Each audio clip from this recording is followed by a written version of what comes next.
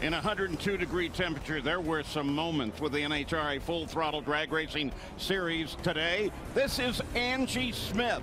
She loses her brakes on her pro stock motorcycle. And over 188 miles per hour at the finish. Did not slow that bike down very much. Went through the sand. She bails off the bike before it goes off into the cornfield. Scary moment for an instant. As you take another look at it. Did not slow down a whole lot. She did say, hey, I'm going to bail out before it does go out in that field. And luckily, though, she was A-OK. Her husband watched from the starting line.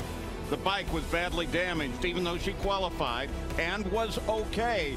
She will not be able to race on Sunday.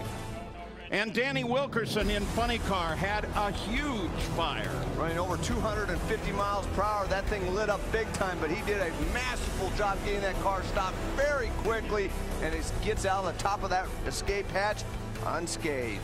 The finals from Norwalk, Ohio on the air, Sunday at 8 o'clock, ESPN 2.